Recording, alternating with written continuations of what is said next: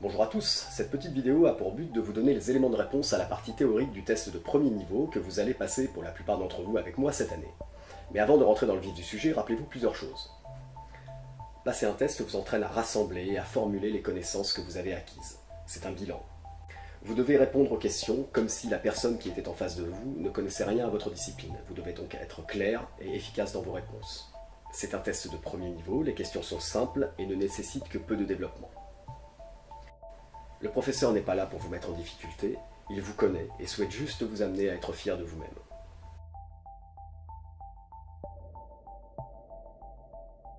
D'où vient l'art du kung fu wushu? La réponse est simple, de Chine. La deuxième question est traduire le terme kung fu. Kung fu représente une notion de travail, d'effort, d'investissement, sur une longue période de temps, au service d'une discipline dans le but de la maîtriser et surtout dans le but de s'accomplir. Troisième question, traduire le terme wushu. Arts martiaux, art de la guerre. Ou la guerre, chou, l'art.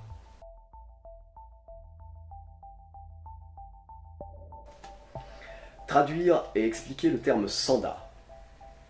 Sanda veut dire main libre, ou plutôt combat libre.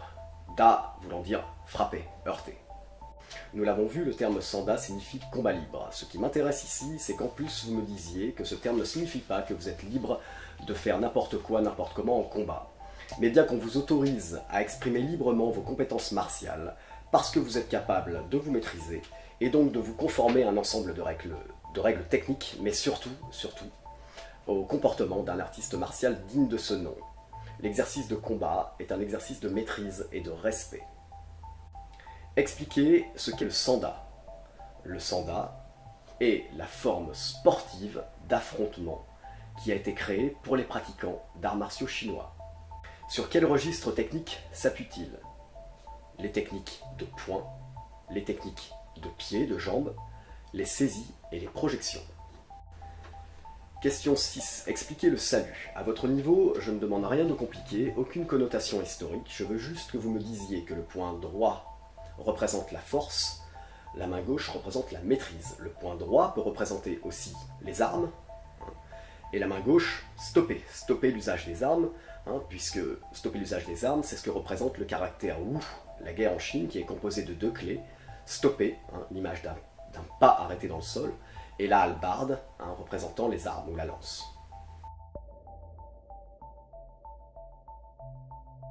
Question 7. À quoi servent les vertus martiales?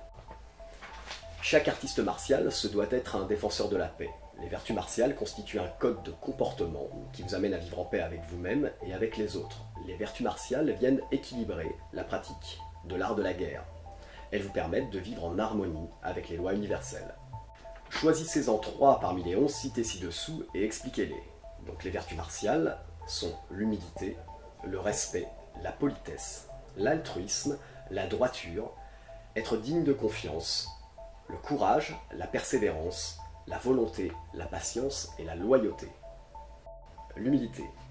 L'humilité consiste à ne pas se mettre en avant par rapport aux autres, quel que soit le savoir-faire ou les connaissances que vous avez, ceux-ci ne doivent pas vous permettre de vous sentir supérieur et d'écraser les autres.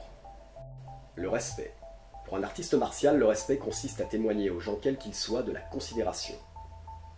À la salle comme à l'extérieur, pour un artiste martial, tout commence et se termine dans le respect. La politesse. La politesse est un témoignage de respect que l'on effectue par le langage ou par le comportement. L'altruisme. L'altruisme est le contraire de l'égoïsme. C'est le principe de s'intéresser aux autres avant de s'intéresser à soi-même. La droiture. Pour un artiste martial, la droiture représente le principe de rester fidèle et loyal à ses objectifs, et de construire sa vie autour d'un axe, représenté par la volonté de devenir chaque jour un homme meilleur. Être digne de confiance. Cela signifie qu'on doit pouvoir compter sur vous. Cela signifie également que ce que vous dites, vous le faites. Le courage. Le courage représente le fait d'agir malgré les difficultés et la peur. La persévérance. Dans les arts martiaux, la persévérance est l'art de travailler dur tous les jours pour obtenir ce que l'on veut ou devenir celui que l'on veut être. La volonté. Dans les arts martiaux, la volonté est l'énergie ou la force mentale que vous témoignez dans le but d'obtenir ou de réaliser quelque chose. La patience, c'est l'art de savoir attendre le bon moment. Dans les arts martiaux, le facteur temps est très important, il ne faut donc jamais être pressé. Enfin, la loyauté. Dans les arts martiaux, la loyauté, c'est l'art d'être fidèle aux gens qui nous veulent du bien et de les honorer.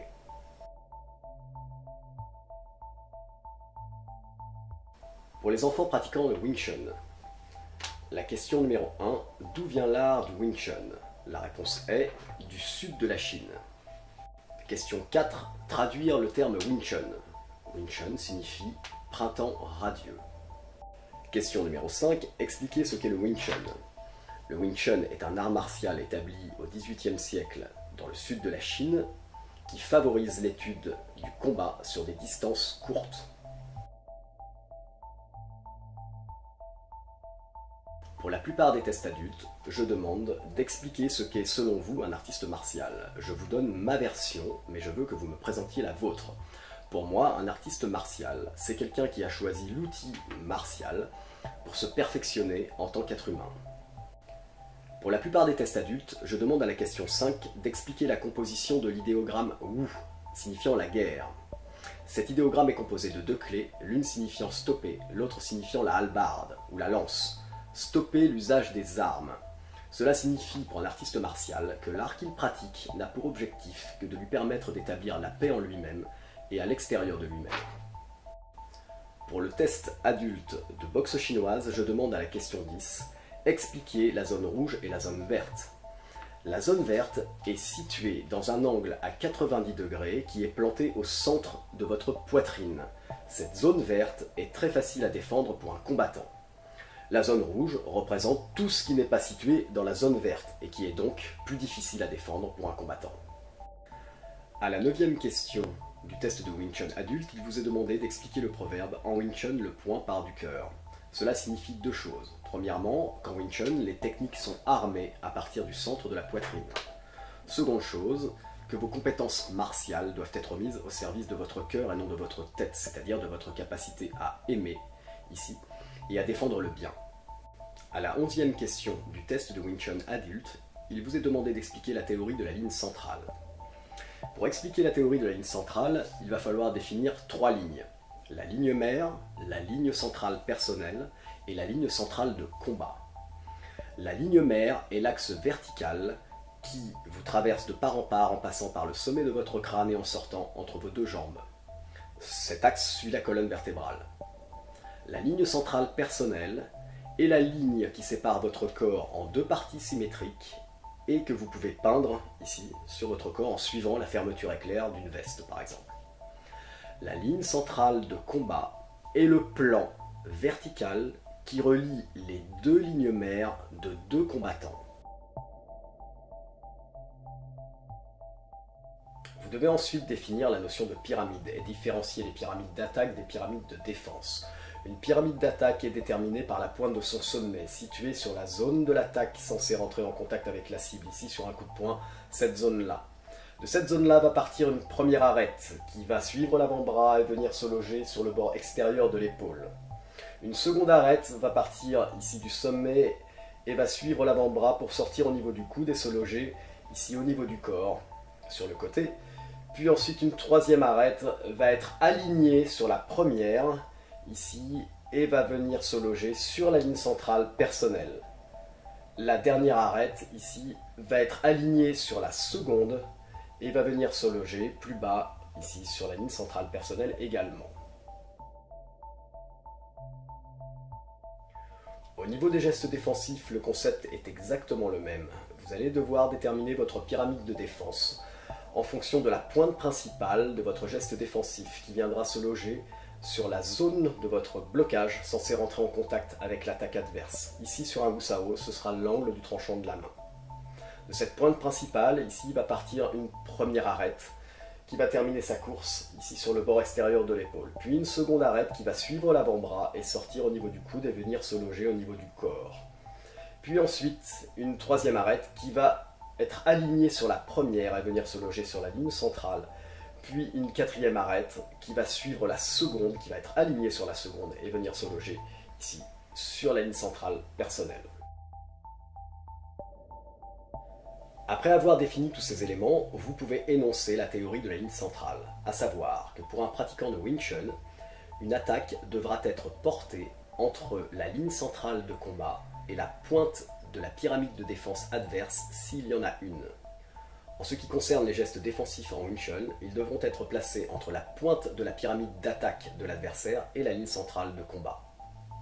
À la question numéro 4 du test de Tai Chi Chuan, il vous est demandé de traduire le terme Tai Chi Chuan. Le terme Tai Chi Chuan signifie la boxe du grand fait suprême. À la question numéro 6 du test adulte de Tai Chi Chuan, il vous est demandé d'expliquer ce qu'est le Tai Chi Chuan. Le Tai Chi Chuan est une boxe, un style martial chinois dit interne, c'est-à-dire qui travaille et qui emploie le capital énergétique de l'homme pour le mettre au service de techniques martiales. À la question numéro 9 du test adulte de Tai Chi Chuan, il vous est demandé d'expliquer rapidement ce qu'est le Chi de l'homme.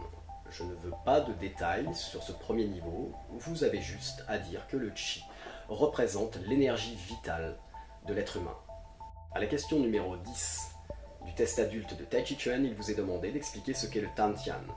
Tantian signifie chambre de l'élixir ou champ du cinabre rouge. C'est un terme alchimique taoïste qui désigne l'endroit où se stocke l'énergie vitale de l'homme issue de son alimentation et de sa respiration.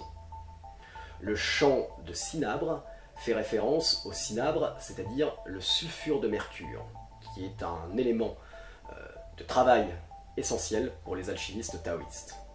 À la question numéro 11 du test de Tai Chi Chuan adulte, il vous est demandé d'expliquer la respiration abdominale inversée, ses liens avec le Tantian et avec le reste du corps, entre parenthèses, la petite circulation.